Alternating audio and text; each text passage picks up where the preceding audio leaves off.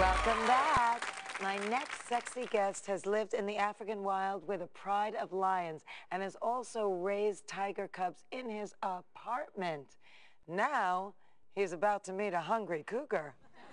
Take a look at him in action. are some of Africa's most dangerous animals.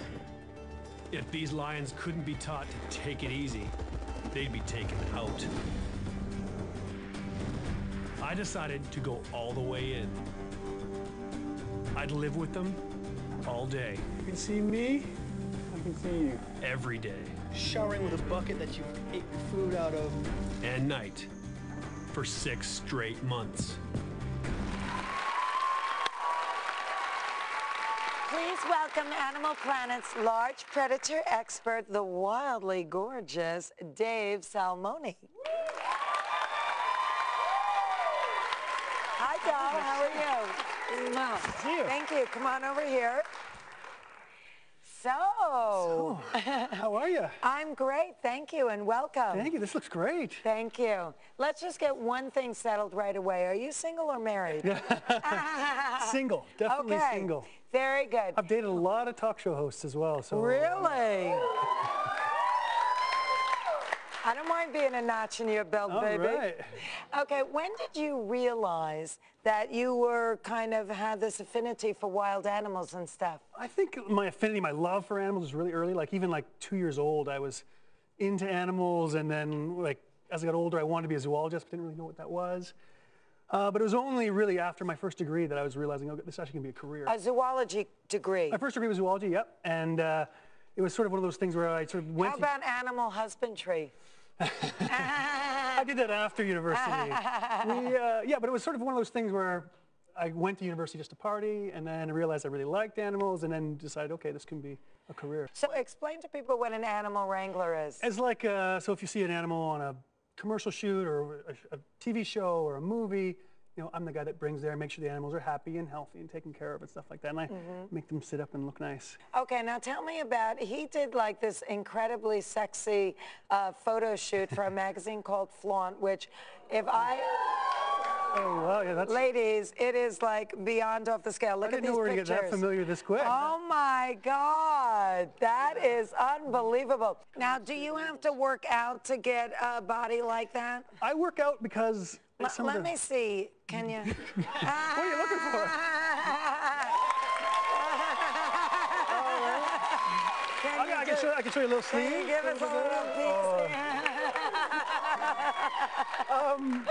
Yeah, I have to work out because uh, obviously some of the stuff I do with the animals, I'm always planning for in case of an attack. Yes, so, So- you have to be very strong and powerful. And fast and agile and whatever else it has to be, it's sort of, you have to fight off an attack.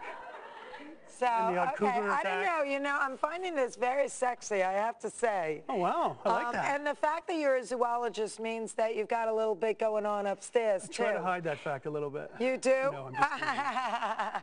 because I think that the brain is the sexiest organ, but if you got a body to match, I'm not complaining. you brought some animals. I did. So uh, why don't we uh, right. get going You with don't the have that cute little dog that was- animals? no, I didn't want her to be guy. anybody's dinner. That's probably a good idea. What is this called? A kinkajou. A kinkajou. Kinkajou. Come here, buddy. A kinkajou, not to be confused with a kinkagentile. There you go, buddy. Take that. You don't want it? Okay. Oh, You look No? at this. Now, come on now. Look at this. Can I You say can pat him, but he'll, he'll probably, actually He'll grab some of probably those treats nip down me? there. Okay. And give him a banana. See how A that banana, banana, goes. mm. See if I'll hang him Look upside at down a little that. Now you can oh, see here. isn't that delicious? I'm not being mean. What's his name? Uh, this one's Forrest. Forrest. Oh, Oh, yeah. my goodness. Look at this Now, little. look at his little hands. Oh, now yeah. he's got. Uh, you know, does he have an opposing thumb?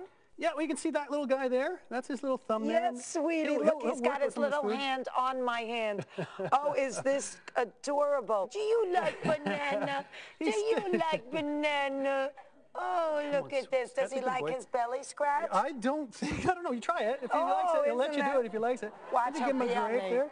Here, buddy. Oh, Have one of these. look at that little wanna Look at how cute he is. ah, not on the furniture. Not on the furniture. oh, my God. That's a good pee. Wow. That's a healthy pee. All right, buddy. Good boy.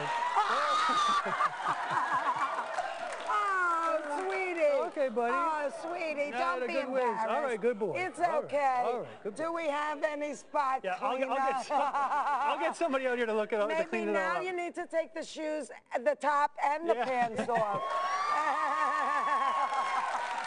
Hmm. wow. Who would have thought an animal this small would have a bladder that big?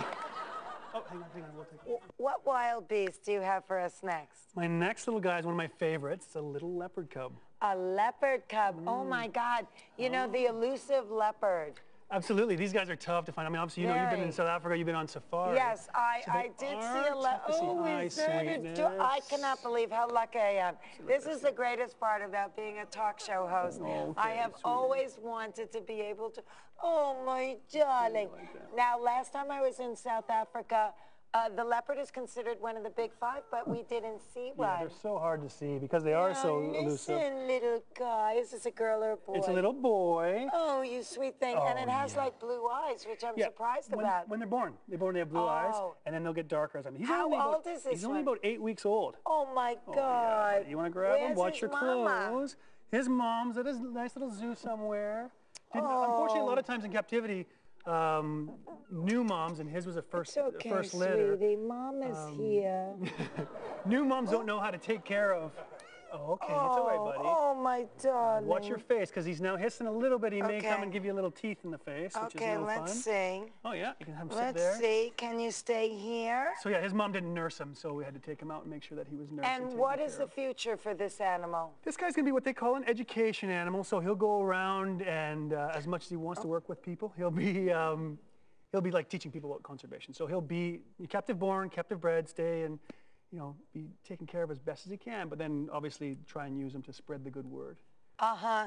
So, but he's never going to be like uh, uh, in a circus or anything. No, no, never gonna be in a circus. When I say like a, an- when you have an animal in captivity, you have to challenge their brain. Boredom is the number one problem with captive animals. So Mm. we do have them in our hands. We do have to take care of them best we can. The number one thing you can do to do that is to train them. So you bring them out and teach them different things, show them different things, and that It, makes their day it exciting. stimulates them. Yeah, so this type of stuff, you may say, oh, you know, maybe they don't want like to do this stuff. This is great for him because he doesn't have to stay in his little cage, hang out with his mom. oh, I you know, love this little guy. He's very Um, calm. You can read in his body that he's having a great time fur. with you. Eventually, yeah, it's okay. Let me grab him from you. This Oh, is- really? Why? Do you sense something's well, happening? He gave you a little snarl, which means if, if, if basically they'll tell you when they're happy or unhappy. so that little then- grunting sound? Yeah. So he, was snarling at you for some reason, and then so you know if you don't do? listen, then um, Okay. get grumpy, so- because I don't know yet how to read those sounds like you do. yeah, it's not even just I that, like- mean, Esther, I know her whole language. yeah, exactly. And then he's just a baby, so like a lot of times he'll be like, I want to do something different. I want to do something different. So anyway, Dave, I cannot thank you enough. This has Thanks been for so having me. special. It's really been a fantasy of mine to be able to Oh, do this great. and to be able to have you sitting so close to me. That's a different fantasy. Tell me about it. Uh, you can. You can see the cute Dave Salmoni on Animal Planet's Into the Pride. When we come back, my next guest is a singer with a voice that makes me swoon. And you're going to hear it next. Don't go away. We'll be right back.